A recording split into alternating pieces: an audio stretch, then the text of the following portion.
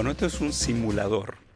¿Qué es un simulador? Bueno, como hacen los pilotos de avión, que se sientan en un lugar donde tienen las mismas características de un avión, con pantallas y practican eh, despegar y aterrizar. Bueno, esto es exactamente lo mismo, pero para vehículos de transporte eh, público de pasajeros. Es decir, en el simulador, seguramente van a ver imágenes después, hay una butaca, este, un volante, todo lo que tiene que ver el tablero y hay pantallas que esto permite simular una situación real.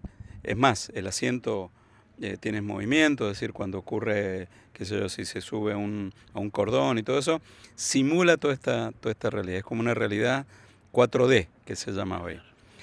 Eh, ¿Qué permite el simulador? Bueno, el simulador permite eh, establecer incidencias o situaciones que serían muy difíciles de entrenarlos en la realidad.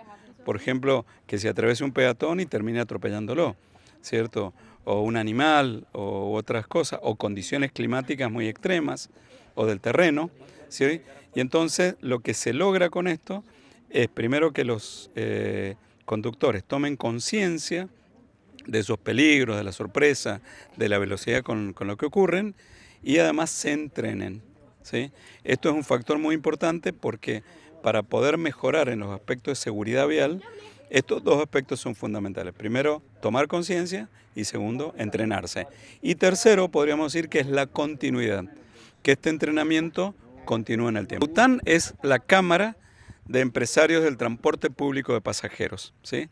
Eh, esta Cámara, que está constituida por los empresarios, tomaron la decisión de armar una fundación que cumpliera principalmente tres funciones. Capacitar, investigar y tener relaciones con la comunidad. Este tercer aspecto es lo que estamos haciendo ahora. ¿sí?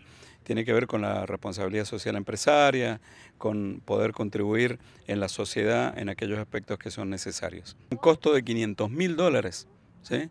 que lo, lo, estamos pagando en cuota, ¿cierto? que lo ponen el dinero los socios fundadores, que son los empresarios, pero bueno, ellos se convencieron de la importancia de tener esta herramienta para profesionalizar y entrenar a los conductores del transporte. Yo creo que hay que este, poner en valor a los millennials, que a veces se los critica tanto, porque yo creo que son una generación eh, muy especial, una generación de, gran inteligencia, de grandes virtudes, y creo que tenemos que trabajar con ellos. Este, poder formar, eh, poder influir en que las personas se capaciten, no solamente en conocimientos, sino también en principios y en valores, que es fundamental. Es decir, alguien para ser un buen conductor o cualquier persona para ser un buen trabajador, primero tiene que ser una buena persona, ¿sí? que son los éxitos de largo plazo. ¿sí? Entonces, esas son una de las cosas que nosotros intentamos trabajar en la Fundación.